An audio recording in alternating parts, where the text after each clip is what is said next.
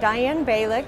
I'm a practicing veterinarian in Lincoln, Arkansas. Been doing embryo transfer and beef cattle work for over 30 years.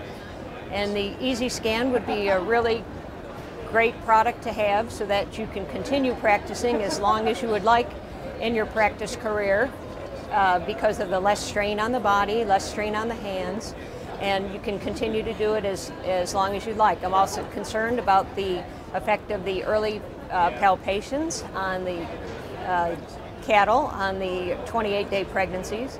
I feel it would be a lot safer for those pregnancies and be a lot more benefit to my registered clients to give them early pregnancy diagnosis on their valuable animals.